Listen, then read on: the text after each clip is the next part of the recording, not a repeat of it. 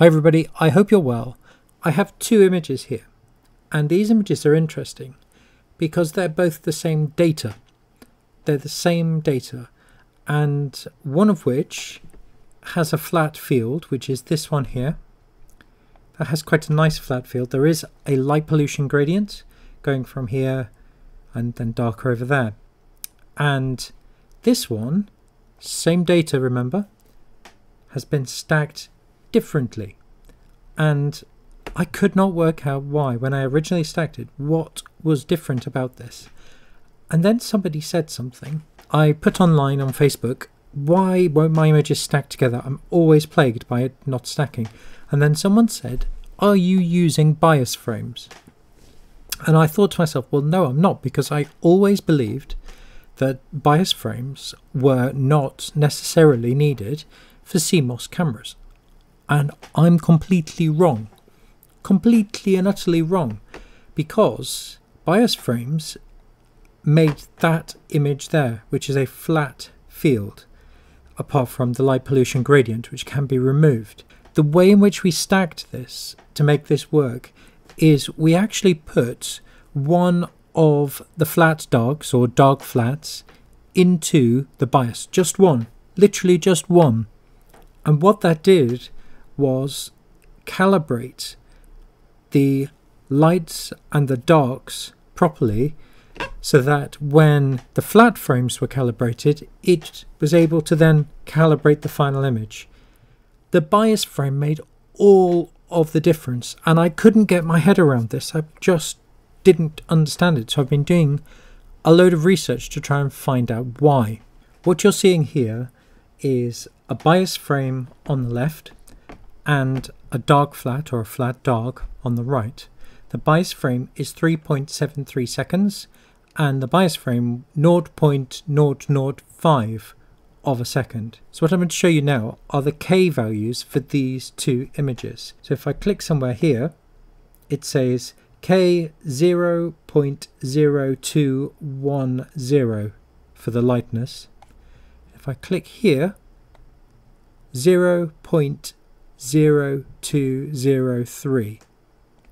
They're virtually the same. And if you look at these images, if we zoom in, they look pretty much the same. And they're both taken with the same camera. I must make that point. They're both taken with the same camera. So they look pretty much identical. And the K value is 0.02 there. And the K value here is 0.02. So I would argue that a bias frame here on the right and a flat dark or a dark flat here on the left are pretty much the same, give or take very small amounts. When I stacked together my West Veil image which we saw earlier, I put one of my dark flats or flat darks into the bias. That caused the field of view to be much flatter. So it got me thinking, what is going on in the stacking where the bias is having such a large impact because I always thought that you didn't use bias frames with a CMOS camera and I am wrong.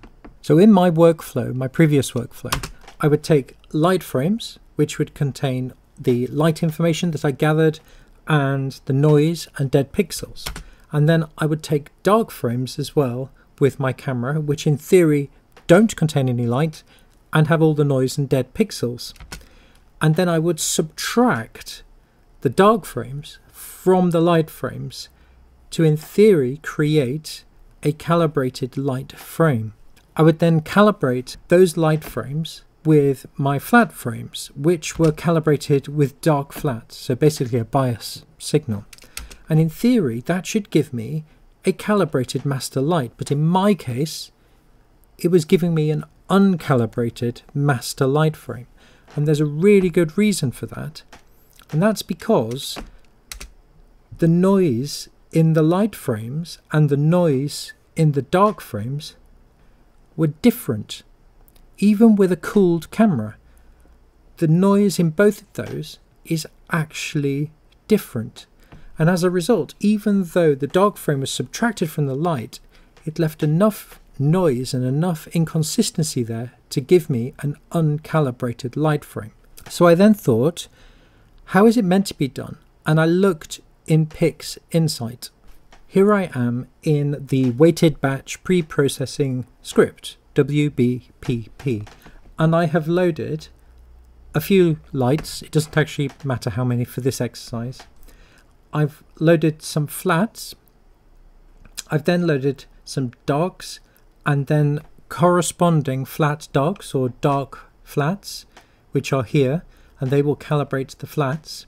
And then I put some of those bias frames which I took, which were 0.005 of a second, but I could have used the dark flats because as we've already seen, and you can just see behind, they're virtually identical. A bias frame and a dark flat are pretty much identical. So I loaded them all together and then I went to calibration. And we can see here that if I select the light here and then we go to optimize master dark, you can see when that's not ticked, the bias is not being applied.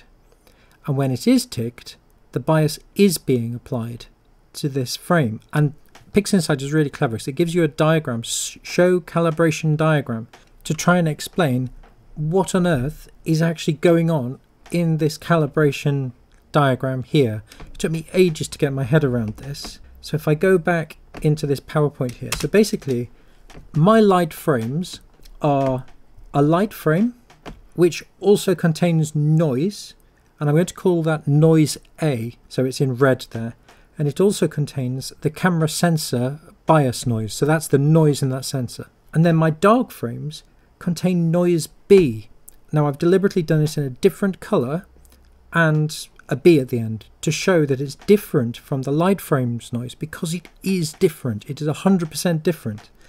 And my bias signal there from the camera sensor.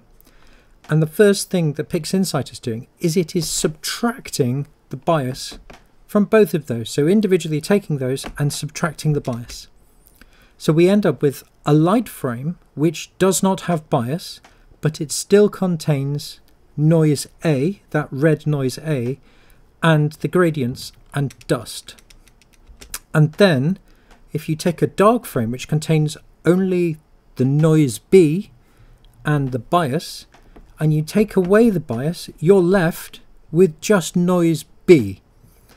And then what PixInsight is doing, and if we look back in PixInsight, it has this weird K factor here, this K thing.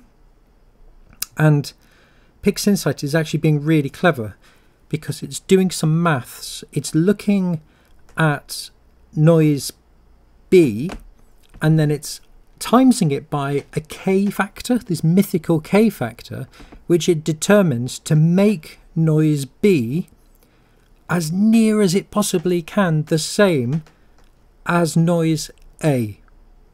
And when it's got that noise A pretty much the same, it applies it to the light frame.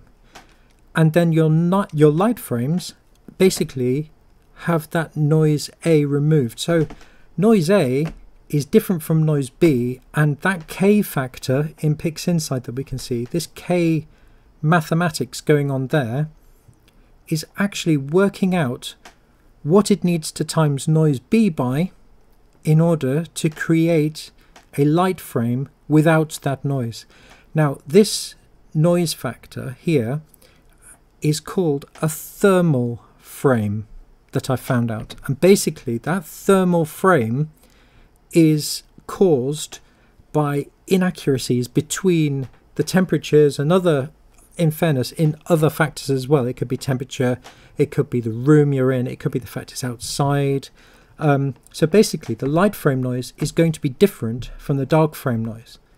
And PixInsight is able to do some maths and determine what the value of noise A is and then subtract it from your light frame. And then of course we take our flat frames which have the gradient and the dust and they of course are calibrated with our dark flats which could of course be bias as well. That's the same. And then it subtracts that and that finally leaves us with a calibrated master frame. Now, this is really interesting because I never use bias frames. So basically, this bias and all of this maths here was not being applied to my images. And because my cameras are not consistent enough, even though they're cooled cameras, even though they are cooled, they are inconsistent enough to have different noise in them. And as a result, it was leading to having uncalibrated frames. So it's really interesting. If you now look, this diagram here is exactly the same as did this diagram here. So if we go through this, we have our, our dark master and our lights here. And first of all, it removes the bias. But on the dark side, it removes the bias and that leaves you with that thermal frame that we talked about, which is just the noise in your dark master. It's just noise. And then it compares that and does a bit of maths with this K factor here to make it the same as the noise from your lights. It then minuses that and then it takes the calibrated master flat because it's had its dark flats or flat darks which is the equivalent of a bias removed and then it finally calibrates the light frames. So if I now go back into my little PowerPointy type thing, so if I then go back to the beginning as to why my calibration is never working, my light frames, which do contain noise, have different noise to my dark frames. And as a result, when those are being subtracted from each other, even though they're being calibrated with my flat frames, I am still getting an uncalibrated master frame. And that is why, from now on, I'm going to be using bias frames.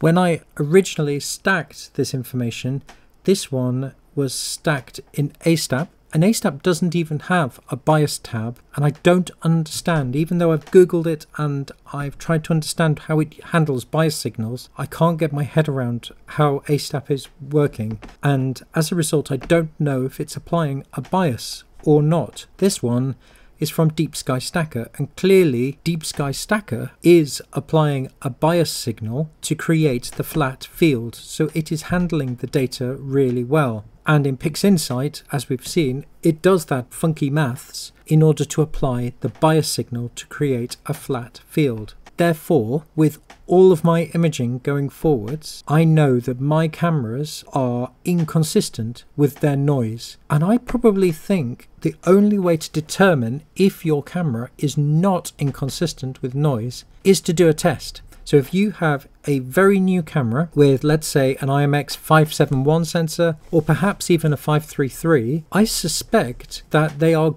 good enough to experiment with to see if you need a bias signal or not in your stacking. But I, for one, I have a 533, but it's a mono version. But I'm definitely going to use bias with this going forwards. Or because we've seen that bias frames and dark flats or flat darks are virtually the same as a bias signal, I'm going to use those in the bias column when I stack in Deep Sky Stacker or in PixInsight. Clearly, that bias signal is critical to getting a flat field when you're stacking. I hope I've made some sense here. That was incredibly complex to be able to research. And if you got this far, thank you so much. I hope it improves your stacking and potentially if you have any more information please whack it down in the comments because I've tried to get my head around that K factor and those thermal frames which are created and there's quite a lot of information in there so I hope it was useful take care everyone and I'll see you all soon